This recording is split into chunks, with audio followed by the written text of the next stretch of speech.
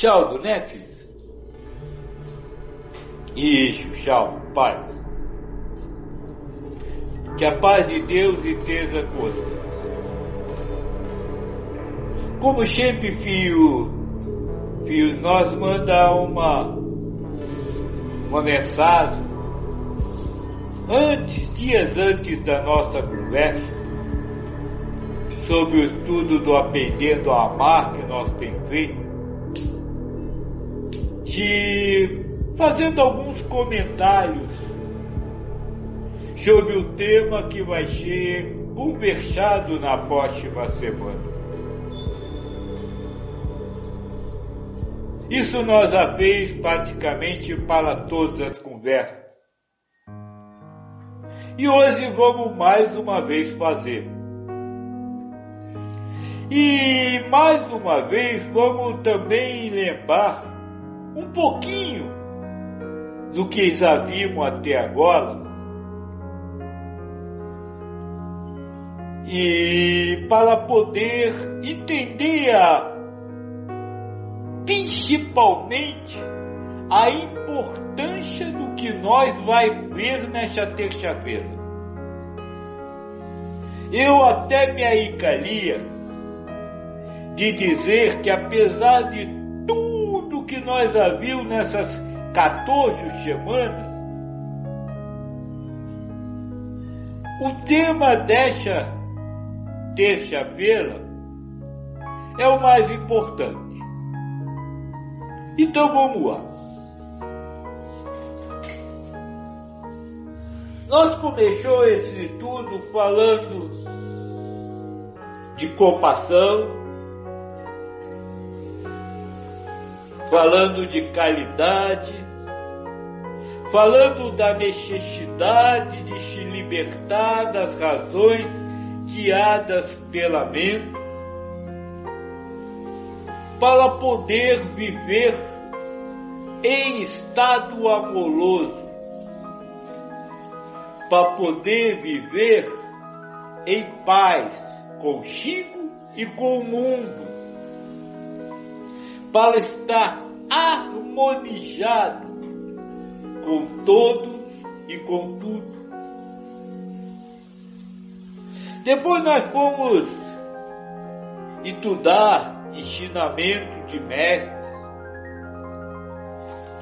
Vivo diversas posições, mas sempre tendo como fundo o libertar-se da criação da, da mente, da razão, ou seja, não acreditar naquilo que a razão cria como realidade e também não criar outra realidade para substituir aquela. Apenas não saber nada. Apesar da razão afirmar sim ou não para qualquer coisa. Este foi foi, essa foi a, a, a essência da nossa conversa desde o início. Mas dessa vez nós vai, vamos dizer assim, mudar um pouco esse discurso. Não que nós esteja negando a importância de se libertar da razão mas porque existe algo muito importante que cada ser precisa ter, viver, vivenciar, experimentar, para realmente fazer esse exercício, o exercício da libertação.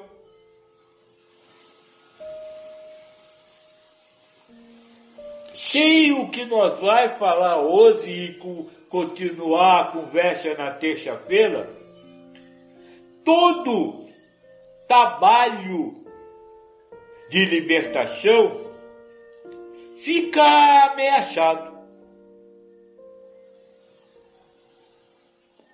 fica quase que impossível de se realizar. Por quê? Eu lembro lá no início que nós conversou sobre mergulhar no vazio. E alguém me disse, eu mergulho no vazio, mas aí eu sinto o vazio, tenho medo e volto correndo. Justamente isso acontece com vocês. É difícil vocês se libertarem da mente, porque a liberdade da razão, o libertar-se da razão, lhe leva a um vazio. Um vazio que é cheio de não sei. Mas é vazio. Por quê? Porque é uma vida sem convicções. Uma vida sem certezas. Eu diria uma vida sem chão para pisar. Aquele que é liberto da, da rajão, ele caminha pela vida sem base, sem sustentação, sem ter nenhuma, nenhum chão que o sustente, que o mantenha. É, porque se você não sabe nada, e o que você sabe é o que dá sustentação à sua vida, fica difícil você caminhar sem saber aonde está pondo o pé. Essa é a grande verdade. É por isso que muitos de vocês não conseguiram ou quando chega na hora H, se deixa levar pela mente. Porque vocês precisam de pé, de são, de sustentação, de verdades, de convicções para viver. E o, o assunto desta semana vai ser algo que pretende e que pode lhe dar uma convicção para poder dar este passo em direção ao nada.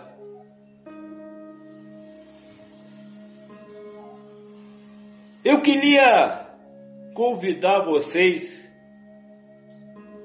para esta conversa da terça,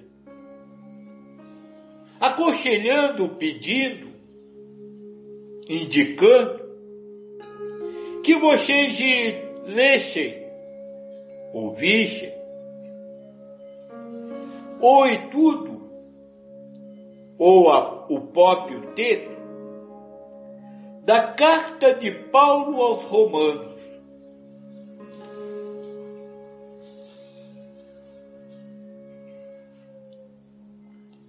No nosso trabalho, o estudo desta carta, o, o livro do, do estudo desta carta, os áudios da, do, do, estudo desta carta, chamou-se a lei e a fé. Então, por esse título, e eu espero que vocês busquem mais conhecimento sobre isso para nós conversar, já dá para entender o que é essa coisa que pode lhe fazer botar o pé no lugar que você não sabe o que tem. A fé. É este o elemento, vamos dizer assim, que está faltando para vocês, para nós. É a fé. Ela é tão importante que Paulo aquele que recebeu as, a boa nova direto no céu, diz nessa carta: Deus não nos aceita pela, pelo cumprimento da lei, por fazê-la o que é obrigatório fazer, por fazê-lo certo por fazer aquilo que o sistema humano de vida determina. mas pela fé. É essa a fé que pode, que causa a aceitação de Deus pelo Espírito. É a fé que leva a, o Espírito a se unir com Deus. Ele, inclusive, Paulo, inclusive, cita o, o exemplo do Abraão, que foi ter seu primeiro filho já tinha mais de 90 anos. E o Deus Chacana disse para ele assim: pega seu filho, vá na pedra de, de sacrifícios e o mate, como louvor a mim. Quem faria isso aqui? Ninguém, né? Mas Abraão foi. Foi, colocou o filho, rejou para Jeová, que é o nome que eles davam a Deus, levantou o punhal e na hora que ele ia abaçar ouviu, pode falar, você já provou a sua fé. Então não é o fazer o ato, não é o matar o filho, mas o, a fé que, se, que moveu ele para chegar a levar o filho e colocar sobre a pedra do sacrifício e levantar lá a faca. Mas o que é fé? O que que levou, o que que moveu Abraão? É a confiança. A entrega com confiança absoluta e restrita a Deus. Quando eu me relaciono com Deus, tendo, me entregando plenamente a Ele, mas me entregando plenamente a Ele, não num vazio, não no escuro, mas numa confiança, numa certeza de que não importa o que vai acontecer, aquilo é o melhor para eu. Eu consigo me relacionar com Deus como um filho deveria se relacionar com o pai. É essa confiança, é essa entrega que coloca são para aquele que trabalha na libertação da mente possa colocá-lo pé. Eu diria que a fé, a entrega com confiança absoluta, ela é o antônimo do sistema humano de vida, que também tem uma fé, que também é vivido com uma fé a fé nele, a confiança entrega de que vivendo dentro do sistema humano de vida, eu vou alcançar o prazer, a felicidade humana, a glória, a, a, o, a, a, a, riqueza, a bem, a, o sentir-se bem. A fé é o que faz você, não importa de um lado ou de outro, que dá para você a confiança para fazer alguma coisa. Então você não pode ter fé no sistema humano e ao mesmo tempo querer caminhar para Deus, porque não tem caminho, porque o caminho é a fé.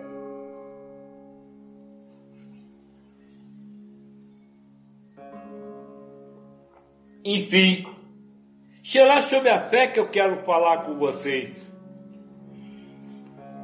Convidaria vocês a, a ler a carta de Paulo aos Romanos, a ver outros aspectos sobre a lei, sobre a fé que ele fala lá, e tem muitos, viu? Que eu quero conversar com vocês. Não vou dizer só eu quero conversar com vocês que eu preciso conversar com vocês. Nós estamos juntos neste trabalho há 14 meses. E nem 14 semanas de culpa, né? E nessas 14 semanas, nós vem vivendo vicissitudes. Eu já cheguei aqui e disse que a coisa estava muito complicada. Já cheguei aqui e disse que a coisa ia melhorar. Já cheguei de novo aqui e disse que ia complicar de novo. Já cheguei e disse que ia melhorar de novo. E agora vai complicar de novo.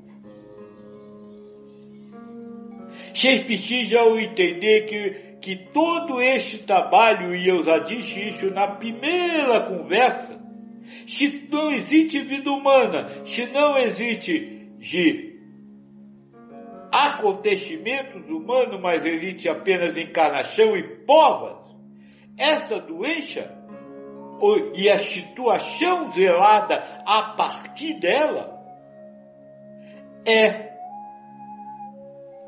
pova e não é fato. E como todas as povas, e isso está no livro do Espírito, são vividas em vicissitudes, ou seja, em alternância de situações.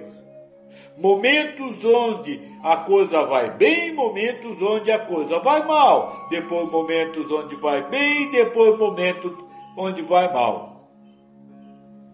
E eu diria que essa vicissitude elevada, alta, que vai passar, ou de culpa basta, né? Porque é, é negativa, é sofrimento, vai ser muito profunda.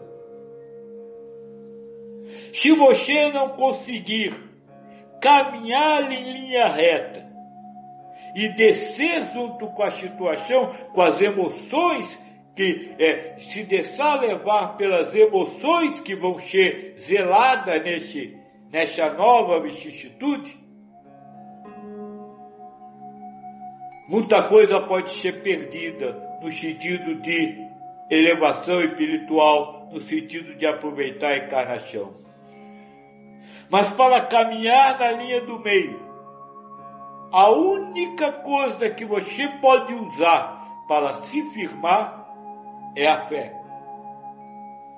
A fé será a segurança de não despencar dentro de, dessa vicissitude que está para vir. Então isso torna a nossa conversa dessa semana ainda mais importante. Porque nós já falou muitas vezes sobre o amar a Deus acima de todas as coisas e ao próximo como a ti mesmo. Mas, e já chegou a falar, mas muito rapidamente, de que para amar a Deus acima de todas as coisas, eu preciso me desligar deste mundo. Porque ninguém vai amar a Deus acima de todas as coisas, estando com a peso, a razão que só zela é, negatividade, que só zela dor, que só zela machucado. E para poder amar a Deus neste momento, eu preciso manter uma relação com Ele de entrega com confiança absoluta. Sem isso, não se ama a Deus, não se ama ao próximo. E se não se ama a Deus e não se ama ao próximo, não se tem paz, não se tem felicidade, não se tem harmonia. Então eu impelo vocês na terça-feira. Que a paz de Deus esteja com vocês. E tchau. Que vocês consigam manter-se elétrico. Nós vai estar sempre por perto para ajudar em alguma coisa. Mas mesmo aqueles que se afundaram e não se utilizam da fé, fica difícil puxar para cima, viu? É muito pesado. Que a paz esteja com você.